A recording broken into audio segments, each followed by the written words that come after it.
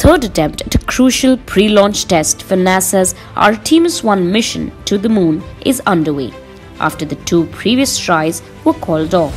Called the wet dress rehearsal, which stimulates every stage of launch without the rocket actually leaving the launch pad, is expected to go on until Monday.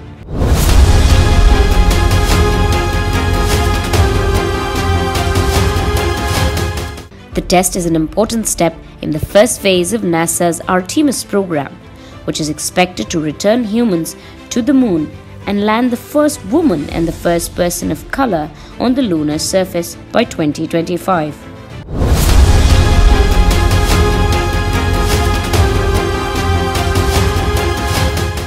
The results of the wet dress rehearsal will determine when Artemis 1 will launch on a mission that goes beyond the moon and returns to Earth.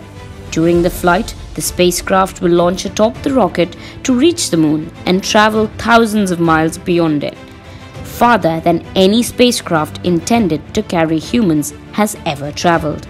This mission is expected to last for a few weeks and will end with Orion splashing down in the Pacific Ocean.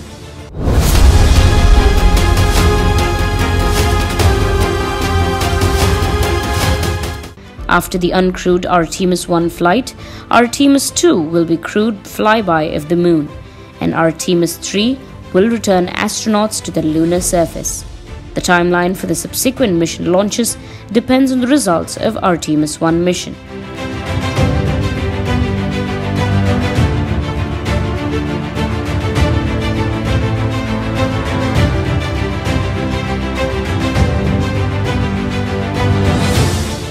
Bureau Report, The Metro.